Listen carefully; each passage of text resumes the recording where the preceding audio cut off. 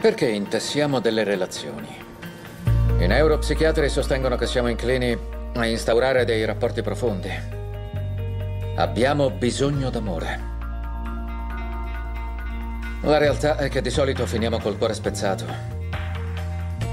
E questo lascia delle ferite nella nostra fragile psiche quando non la distrugge.